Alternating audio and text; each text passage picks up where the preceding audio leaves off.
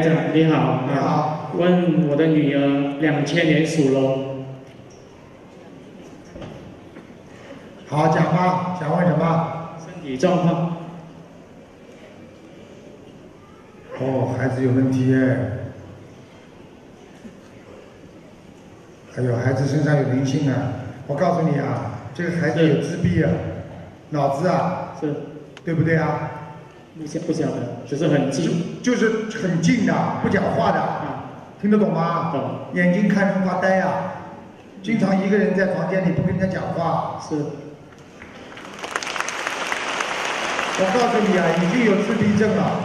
这样怎怎么？你赶快啊！你这种自闭症，我告诉你啊，你现在刚刚开始的时候，因为有一个老婆婆在他身上，又是个男的，老婆婆家里有没有有男的老年纪大的老爷爷过世的有吗？嗯，很久，很久是吧？是瘦瘦的，干瘪的，很干干瘪的那个是爷爷，啊，我不知道爷爷奶奶。那我讲几个特征给你就知道了，经常咳嗽，活着的时候。是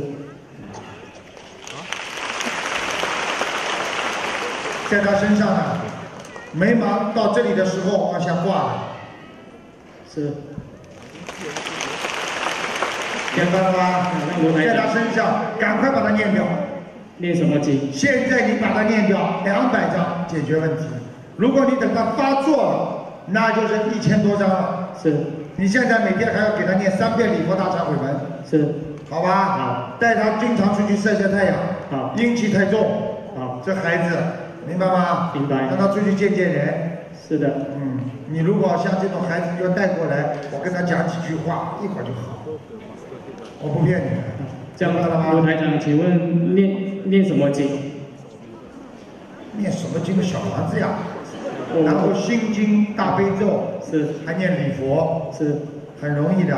你知道吗？你跟我记住了啊！你少吃活的东西，而且你小动少动小脑筋。你这个人就是小脑筋太多，所以你做不了大事，你做小生意、打打工，明白了吗？明白。因为你的脑子经常转来转去，都转自己小的事情，气量大一点的，是，明白了吗？明白。什么事情无所谓的，好为什么这么斤斤计较呢？好，明白了吗？明白。哎，因为斤斤你就计较了，明白了吗？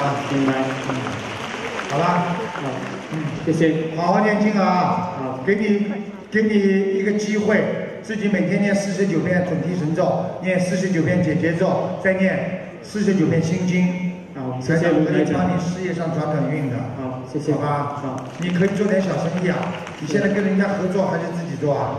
自己做，自己做是吧？那已经自己做了。是的但是我看看你的生意好不好？呃，妈妈的呀，嗯，不好啊。嗯，小生意非常小，嗯，一个小店铺，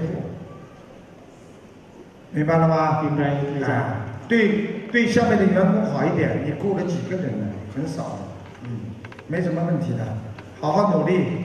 谢谢台长好好努力念经啊！好，把台长的书放在你店里，给人家发发，你看看你生意会不会好起来？谢谢台长，啊！你看台长有料啊，又救人。